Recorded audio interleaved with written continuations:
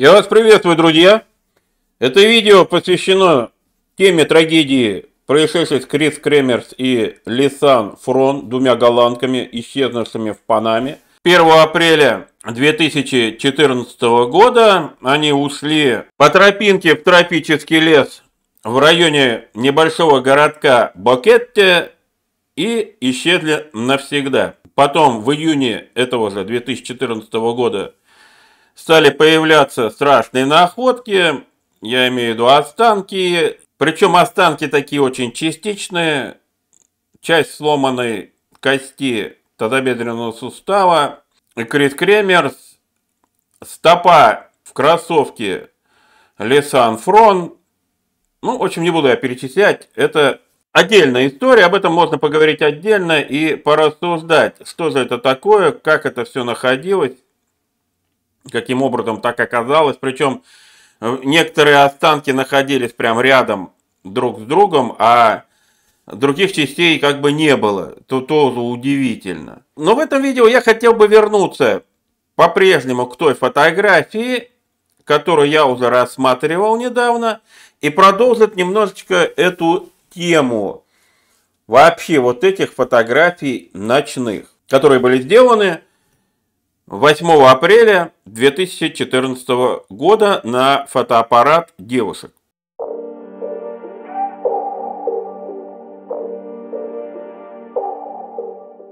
Вы можете сказать, да что-то я вот с конца этой истории практически начинаю ее углубленно изучать, а я думаю, что именно вот эти ночные фотографии, они являются подсказкой. Потому что, во-первых, удивительно, что фотографии на телефонах и на фотоаппарате заканчиваются 1 апреля, а потом появляется некая ночная серия, как ее называют, именно 8 апреля, причем там около 100, наверное, фотографий. Большая часть из них сделана где-то в промежутке между часом ночи и двух часов ночи местного времени. Ну и остальные там уже ближе к утру последние сделаны, по-моему, в 4 утра, по-моему, сделана последняя фотография. На этом опять все прерывается. То есть вот эта серия, она удивительна. Удивительно тем, что на ней только один раз появляется якобы затылок Крис Кремерс. Я все-таки не очень верю, что это ее затылок. И есть еще одна фотография там с несколькими волосками вроде как будто бы тоже, возможно, лицо там чуть-чуть появилось в кадре. И все. Больше нет ни рук, ни ног. Непонятно вообще, кто делает эти фотографии.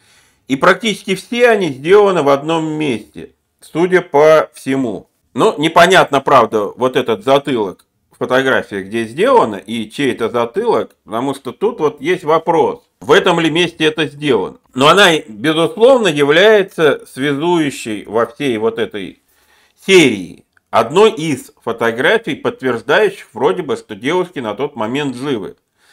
Потому что сама Крис Кремерс, ну, никаким образом эту фотографию сделать не могла.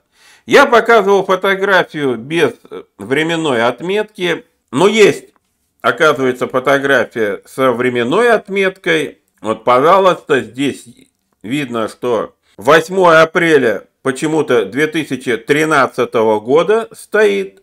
Дата, тоже для меня удивительно, потому что, ну, как-то не получается 13 год, 13 год это, скорее всего, ошибка. 7.49 это время, видимо, выставленное не панамское, судя по всему, это, наверное, голландское время – и говорят, что надо от него отнимать 6 часов вот от этого времени, 7.49. То есть, по сути, по местному времени это получается 1 час 49 минут 47 секунд. Кстати, на этой фотографии в правом нижнем углу более четче видно, что это все-таки волосы, а не какие-то полосы досок. Это именно волосы у нее так в две линии получились. Эта фотография практически не отличается по контрасту от той фотографии, которую я показывал. Сказать, что были какие-то изменения в плане осветления или улучшения контраста, ну, я бы так не стал утверждать. И по-прежнему считаю, что вот эти волосы излишне короткие и не слишком похожи на волосы Крис Кремерс. Если, конечно, считать, что это затылочная часть. Я не могу считать, что это не затылочная часть, потому что я не вижу здесь каких-то проблесков частей лица, глаз, нос, уши, не вижу. Потому что иногда говорят, что это, возможно, закинутые на лицо волосы, поэтому, мол, такое вот впечатление совсем другое создается. И здесь не видно вот этого остатка, от этого клубка на затылке, который у Крис Кремер, безусловно, всегда присутствовал и в этом походе тоже. То есть я продолжаю утверждать, что лично сугубо мое мнение, вот схожести с волосами Крис Кремер здесь как бы не наблюдается. Но есть и другой очень интересный момент. Если продолжить эту серию, вот следующая фотография уже где-то то ли на краю какой-то пропасти, то ли э, небольшой ямы. Вот есть такое впечатление, что сфотографирована часть земли, а потом сфотографирована чуть ли не пропасть. Либо, либо сфотографирована снизу вверх, то есть некий откос земляной, там он видны деревья, то есть кто-то вот так фотоаппарат поднял и вверх сфотографировал. И вот здесь возникает загадка, потому что между вот этими фотографиями буквально прошло 18 секунд. То есть сначала кто-то фотографирует Крис Кремерс, возможно, затылок, ну, какую-то часть головы Крис Кремерс. А потом этот кто-то или она сама решает зачем-то сфотографировать либо что-то внизу, либо что-то наверху. Какая здесь может быть логическая связка, я не понимаю. Просто вот не могу понять смысл этих двух фотографий. Зачем это делать? Сначала вас интересует что-то у себя на затылке, да, например. А что у меня там? Дай-ка я сфотографирую. Фотографировали, посмотрели, увеличили, при... время-то идет, понимаете? После того, как вы сфотографировали и руку сюда перенесли, начали смотреть, уже прошло какое-то время. Потом несколько секунд вы рассмотрели, ага, ничего нет. А давайте я теперь сфотографирую пропасть какую-то, да, или наоборот сфотографирую небо. А зачем? То есть эта фотография ради чего сделана?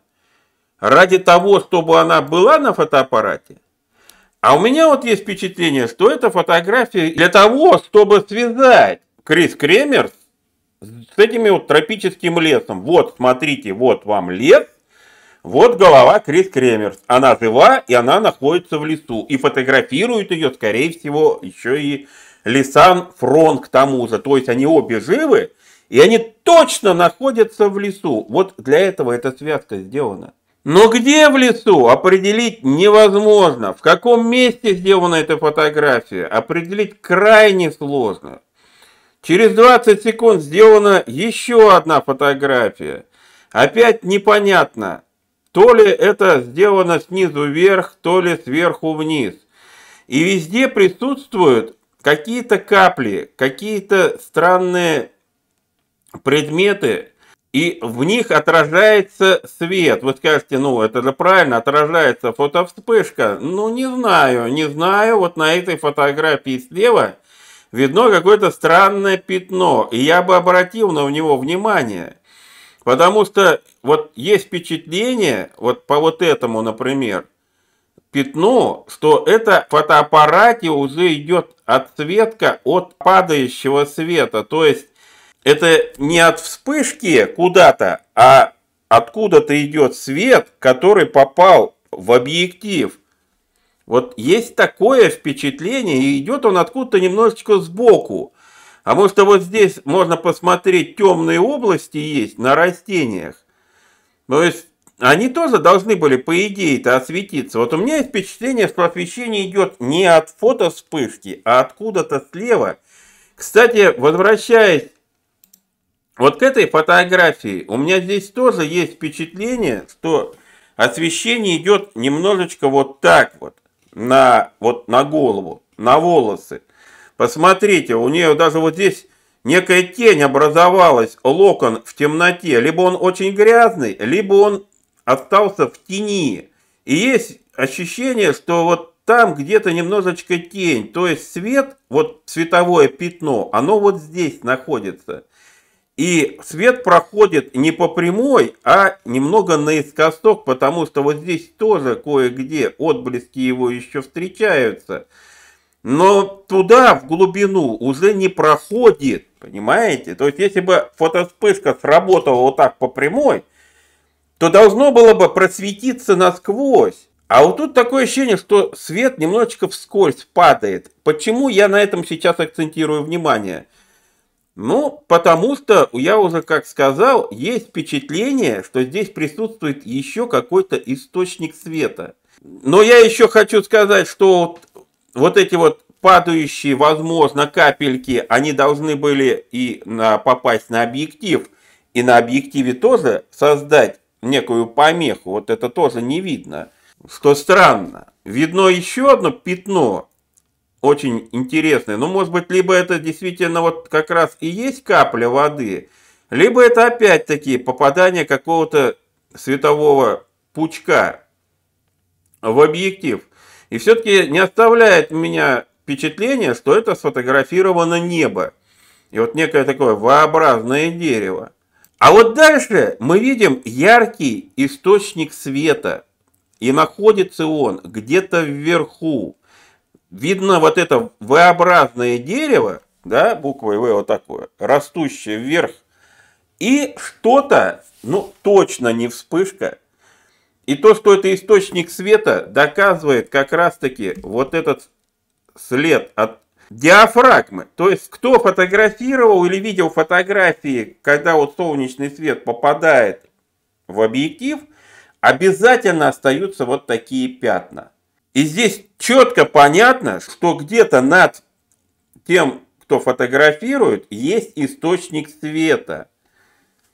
Это может быть либо какой-то фонарь на батарейках, либо вообще электрический фонарь. И возникает подозрение, а не где-то ли возле какого-то жилья все это происходит. Потому что источник света держит не, над, не так вот, не в руке, это точно, он где-то там, довольно высоко. Даже часть дерева немножечко, по-моему, освещает. И вот у меня создается впечатление, что здесь явно присутствует еще кто-то. Кто-то, кто создает дополнительное освещение, или что-то, что создает дополнительное освещение, причем освещение искусственное ночью. Это точно не луна, судя по тому, как освещается. Это что-то совершенно иное. У этих девушек ничего подобного быть просто не могло. Это явно либо очень яркий, сильно яркий фонарь, либо вообще столб, например, какой-нибудь осветительный, с фонарем, освещающим поверхность. Это вполне может быть край какой-нибудь деревни, ну или какая-нибудь хижина в лесу, где можно было выйти и спокойно делать вот такие фотографии, чуть-чуть отойдя от дома. Но иногда попадал и некий отцвет. Ну и думали, да ладно, поливать пойдет, пускай это будет фотоспорт. Или вообще не понимали, что тем самым немножечко они палят контору и доказывают, что это все-таки ну, не дикий какой-то глухой лес, по крайней мере, или э, у девушек явно какой-то очень мощный фонарь должен быть. Вот, наверное, еще некие мысли по поводу вот этих фотографий ночных, сделанных якобы Лисан Фрон. На них, на мой взгляд, очень много подсказок, и поэтому я и акцентировал свое внимание именно на эти ночные фотографии. Ну, конечно, мы Поговорим и о других моментах, и о самом начале маршрута на этой Эль Пианисты, и хождение по этой тропе пианиста, этих девушек, и все остальное обсудим. Но я бы хотел просто обратить ваше внимание, что присутствие посторонних людей, на мой взгляд, явно видно на вот этой серии ночных фото, сделанных 8 апреля якобы 8 апреля, судя по датировке 2013 года, хотя это может быть только 2014 год. Пишите, что вы думаете по этому поводу, высказывайте свои мысли, мне будет интересно их прочитать. Ставьте лайки, буду крайне благодарен. Подписывайтесь, еще много интересного вас ждет впереди. До новых встреч, друзья!